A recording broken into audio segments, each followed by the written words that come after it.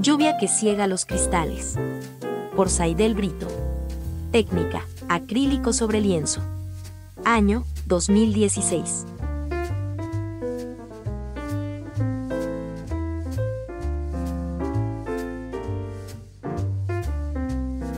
Para disfrutar de esta y más de 400 obras de arte, te esperamos en la Escuela de Pintura de Guayaquil.